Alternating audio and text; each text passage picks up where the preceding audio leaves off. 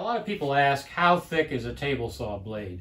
And I think they're asking that question because they want to be able to accurately determine in advance how big the kerf is going to be, and it's, it's important in the way uh, they do their measurements for their project.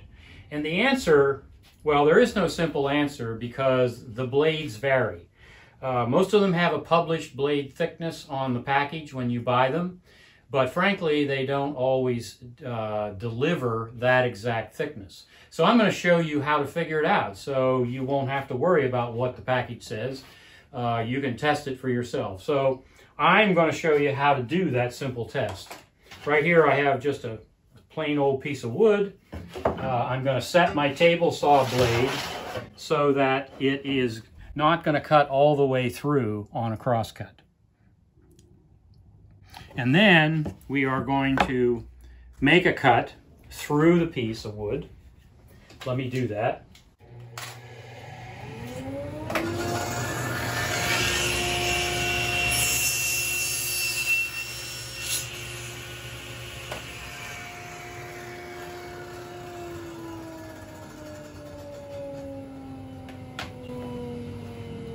Now we have a cutout that's exactly, uh, the width of the cutout is exactly the thickness of the blade.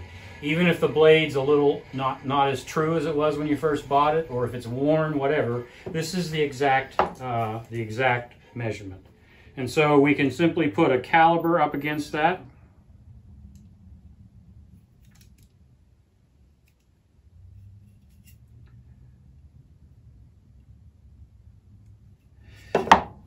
And I measure that as one eighth of an inch exactly. So this, this blade cuts a kerf of exactly one eighth of an inch. So it doesn't matter which, which blade you have, and you can test all your blades and write down the results, but all you need is to make a cut and to use a caliber to do it. You could also measure with a fairly accurate square uh, not Probably not quite as accurate as a caliber, but it'll be pretty doggone close.